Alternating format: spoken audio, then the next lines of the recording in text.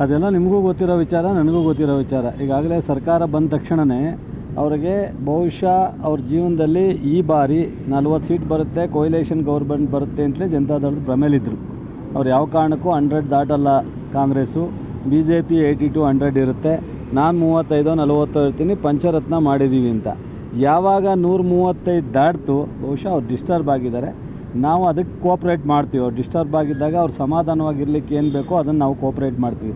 ಬಹುಶಃ ಅವ್ರಿಗೆ ಒಂದು ಚಲುವರಾಯ ಸ್ವಾಮಿನೂ ಸಹಿಸ್ಲಿಕ್ಕೆ ಆಗ್ತಾಯಿಲ್ಲ ಮಂಡ್ಯದಲ್ಲಿ ಆರು ಜನ ಗೆದ್ದಿರೋದನ್ನೂ ಸಹಿಸ್ಲಿಕ್ಕೆ ಆಗ್ತಾಯಿಲ್ಲ ಸೊ ಜೊತೆಗೆ ಡಿ ಕೆ ಶಿವಕುಮಾರ್ ಅವರು ಉಪಮುಖ್ಯಮಂತ್ರಿನೂ ಸಹ ನೋಡ್ಲಿಕ್ಕೆ ಆಗ್ತಾಯಿಲ್ಲ ಸಿದ್ದರಾಮಯ್ಯನವ್ರನ್ನೂ ನೋಡ್ಲಿಕ್ಕೆ ಆಗ್ತಾಯಿಲ್ಲ ಒಟ್ಟು ಟೋಟಲಿ ನಮ್ಮ ಸರ್ಕಾರನೇ ಅವ್ರಿಗೆ ಒಂದು ರೀತಿ ರಾತ್ರಿ ಹಗಲು ಒಂದೆಲ್ಲ ಈಗೆಲ್ಲ ಫಾರಿನ್ಗೆ ಹೋಗ್ತಾ ಇದ್ದಾರಲ್ಲ, ಬಹುಶಃ ಇಲ್ಲಿದ್ದರೆ ಅವರು ನಮ್ಮ ನೋಡಲಿಕ್ಕೆ ಆಗದೇ ಇರೋದಕ್ಕೋಸ್ಕರನೇ ಫಾರಿನ್ಗೆ ಹೋಗ್ತಾ ಇರ್ಬೋದು ಅಂತ ಅಂದ್ಕೊಂಡಿದ್ದೀನಿ ಸೊ ಈ ಲೆಟ್ರಲ್ಲಿ ಯಾರು ಮೆನ್ಷನ್ ಮಾಡಿದ್ದಾನೆ ಅವನು ನಮ್ಮ ಇಲಾಖೆ ಅಧಿಕಾರಿ ಅಲ್ಲ. ಜೊತೆಗೆ ಅವನು ಎಲ್ಲಿದ್ದಾನೆ, ಯಾರಿದ್ದಾನೆ, ಅವನ ಮನೆ ಅಡ್ರೆಸ್ ಸಿಗ್ತಾ ಇಲ್ಲ. ಸೊ ಅವನ ಹೆಸರನ್ನ ನಾವು ಇಲ್ಲಿವರೆಗೆ ಯಾರೂ ಪೊಲೀಸ್ ಇಲಾಖೆಯವ್ರು ಸರ್ಚ್ ಮಾಡಲಿಕ್ಕೆ ಆಗ್ತಾ ಇಲ್ಲ. ಜೊತೆಗೆ ಆ ಲೆಟ್ರಲ್ಲಿ ಮೆನ್ಷನ್ ಮಾಡಿದರೆ, ನಾವು ಜನತಾದಳದ ಏಳು ಜನ ಶಾಸಕರಿದ್ದಾಗ ನಾವು ಹ್ಯಾಪಿಯಾಗಿದ್ದೋ ಅನ್ನೋದನ್ನು ಮೆನ್ಷನ್ ಮಾಡಿದ್ದಾರೆ ಲೆಟ್ರಲ್ಲಿ ನಿಮ್ಗೆ ಅಲ್ಲೇ ತಲುಪಿದೆ. ಕುಮಾರಸ್ವಾಮಿಯವರು ನಮ್ಮ ನಾಯಕರು ಅಂತಲೂ ಮೆನ್ಷನ್ ಮಾಡಿದ್ದಾರೆ ಅಲ್ಲಿಗೆ ಏನು ಅರ್ಥ? ಏನು ಅರ್ಥ? ಕ್ರಿಯೇಟೆಡ್ ಲೆಟ್ರು ಫ್ರಮ್ ಜನತಾದಳ ಅಂತ? ತಾವು ಏಳು ಜನ ಗೆದ್ದಿದ್ದಾರೆ ಅದೇ. ಅಂದ್ರೆ ಬೇರೆಯವ್ರಿಗೆ ಲೆಟರ್ ಬರ್ದಿದ್ನ ಟೂ ಹಾಕೋರು ಅಷ್ಟೇ ಜನತಾದಳದವರೇ ಇದನ್ನು ಕ್ರಿಯೇಟ್ ಮಾಡಿರೋದು ಅನ್ನೋದು ಎದ್ದು ಕಾಣುತ್ತೆ.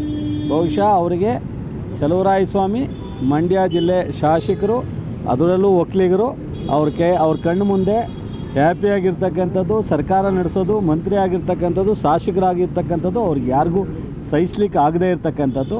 ಸೊ ಇದನ್ನು ಅನೇಕ ಬಾರಿ ನಾವು ಹೇಳಿದ್ದೀವಿ ಸೊ ಒಬ್ಬರು ಎರಡು ಬಾರಿ ಮುಖ್ಯಮಂತ್ರಿ ಆಗಿದ್ದರು.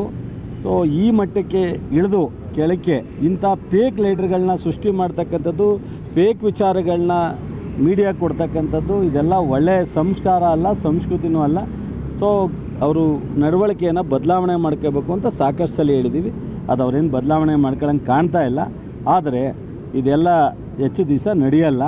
ನಾವು ಕಾಂಗ್ರೆಸ್ ಪಕ್ಷ ಜನ ಮ್ಯಾಂಡೇಟ್ರಿ ಕೊಟ್ಟಿದ್ದಾರೆ. ಅವ್ರಿಗೇನು ಯಾವತ್ತೂ ಮ್ಯಾಂಡೇಟ್ರಿ ಕೊಟ್ಟಿಲ್ಲ. ಆದರೆ ಇದನ್ನೇ ಅವ್ರು ಮುಂದುವರ್ಸ್ಕೊಂಡು ಹೋದರೆ ನಾವು ನಮ್ಮ ಕೆಲಸ ನಾವು ಮಾಡಬೇಕಾಗತ್ತೆ. ಬಟ್ ಇದರಿಂದ ನಾವು ಯಾರು ಆಗಿ ಚುನಾವಣೆ ಪಾರ್ಲಿಮೆಂಟ್ಗೋ ಇನ್ನೊಂದ್ಕೋ ಡಿಸ್ಟರ್ಬ್ ಆಗುತ್ತೆ ಅಂತ ತಿಳ್ಕೊಂಡಿದ್ರೆ ಅವ್ರ ಭ್ರಮೆ ಅಂತ. ಸೊ ಯಾರು ಅವರು ಈ ಪೇಕ್ ಲೈಟ್ರಿಗೆ ಪೂರಕವಾಗಿದ್ದಾರೆ ಅನ್ನೋದನ್ನೆಲ್ಲ ಕಂಡುಹಿಡಿಬೇಕು ಅನ್ನೋದೇ ನಮ್ಮ ಉದ್ದೇಶ. ಅದಕ್ಕೋಸ್ಕರ ಸಿ ಐ ಡಿಗೆ ಸರ್ಕಾರ ಕೊಟ್ಟಿದೆ.